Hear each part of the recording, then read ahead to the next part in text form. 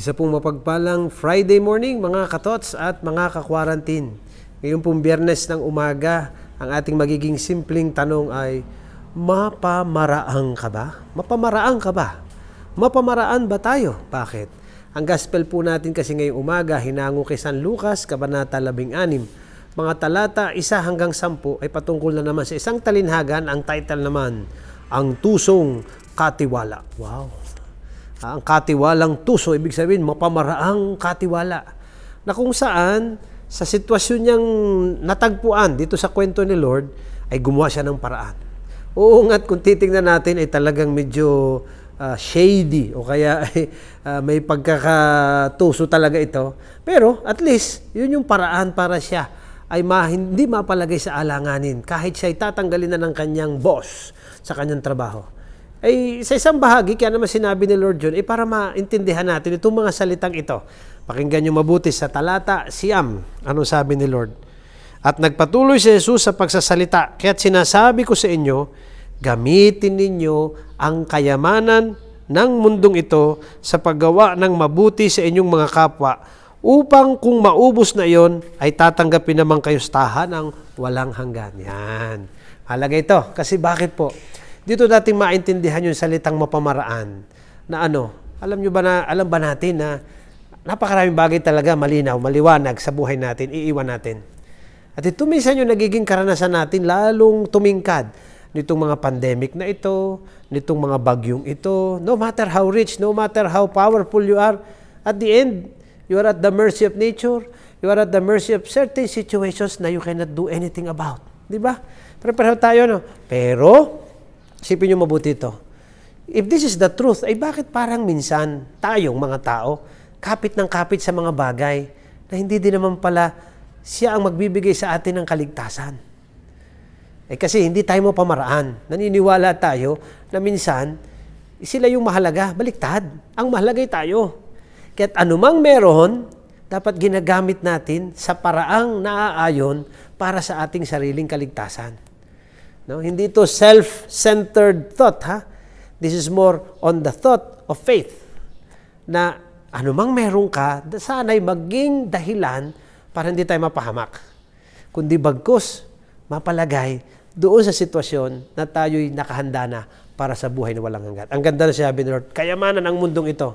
Yan, yan, nakakatakot yan minsan ang kayamanan pag hindi malinaw sa atin na itong mga ito instrumento lamang. Ang mga bagay na ito ay hindi para ang tao'y maging alipin. Baliktad. Para dapat mapalaya tayo, kailang karanasan natin, nababaliktad eh. Doon tayo nagiging alipin. Pinag-aawayan ng magkakapatid, kayamanan, lupa, mana. Ang tao handang pumatay dahil sa pera, handang ah, sirain ang dignidad ng kapwa, kaya nagtitinda ka ng ganito, ng drugs, bawal. Eh. Ang daming bagay dahil sa pera. Ang mundo natin, parang pinatatakbo, gusto kita muna. Ay, hindi bali sana eh kung malinaw sa atin eh, na ano, mga kapatid, nako, wala din yan. At pag ito'y naging malinaw, mapamaraan tayo na ano, kung ano man, meron tayo. Kung yan may tayo kumita ng pera, kapag alam nating ito instrumento lang, magagamit natin ito saan? Para sa sarili nating kaligtasan. Hindi sa ating kapahamakan. At sana maging malinaw sa atin, lalo sa mga may pananampalataya, Akalungkot na sasabing ikay mananampalataya, ikaw ay isang binyagan, pero hindi ka mapamaraan pagdating sa papunta sa langit. Mapamaraan sa mundo. No? Nang iisa sa kapwa, nang dadaya, nag, uh, ewan ko, halo-halo na. Pero hindi niya magawa ng paraan na anumang meron siya, sana'y para sa ikaliligtas ng kaluluwa niya.